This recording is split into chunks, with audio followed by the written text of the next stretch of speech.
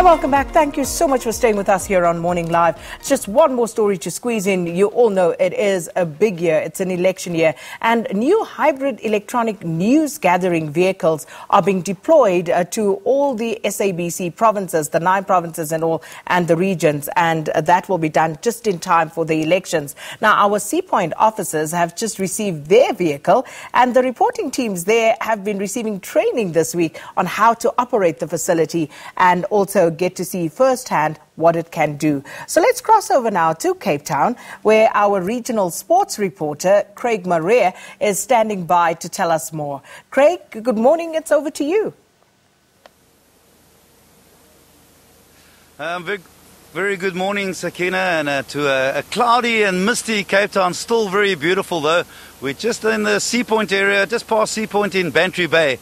But we're not here to talk about the weather. We're here to talk about our new exciting facility, the hybrid ENG uh, vehicle um, that promises to revolutionize the way we do live crossings and broadcasting um, for the SABC um, news team. So our camera operators have been hard at work this week. They've been doing training and to learn all the facilities, all these features on on this um, uh, this exciting um, um, new uh, ENG vehicle that promises to really revolutionize, especially when it comes to, to elections. And there's so many special um, features.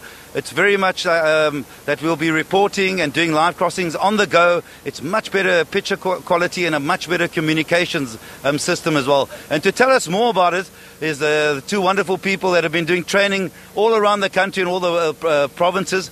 On the far side, we've got Kakisho Masela, and here we've got Nuka Matong. Welcome, and thank you for all the training. We'll start with you, uh, Nuka. Um, just tell us, how, how would you describe this new facility?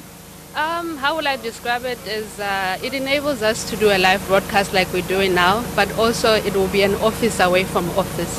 So when you've got it somewhere doing a broadcast, you are connected to SABC network, emails, you can transfer your files, and you've got SABC telephony as well connected to the SABC network.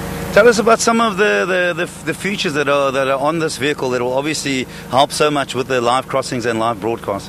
One of the unique features is communication on the move, meaning you can transmit on the move while the van is going. Uh, the other new features, like I've said, from wherever you are, you can connect to the SABC network.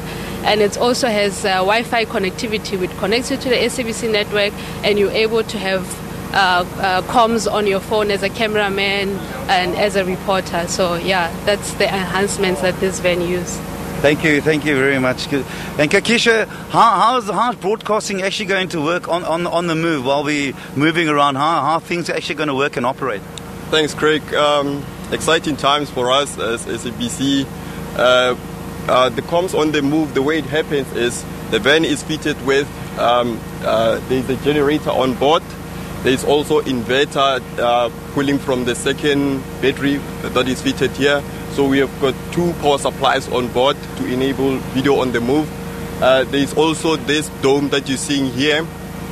Inside the dome we have uh, sensors that enable um, fast uh, satellite acquisition and it also enables the tracking. So the, the, the dish, the dome or the antenna auto tracks itself. So it, we can do video on the move easily.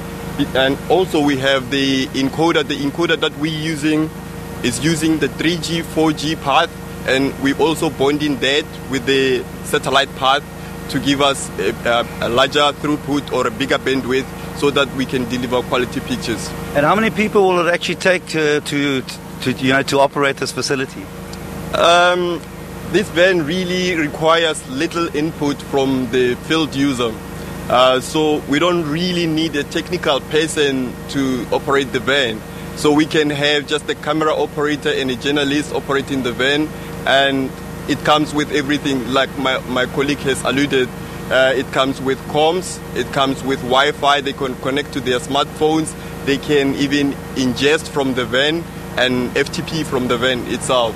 So wherever they go, they will be able to do to have their office away from from from the office.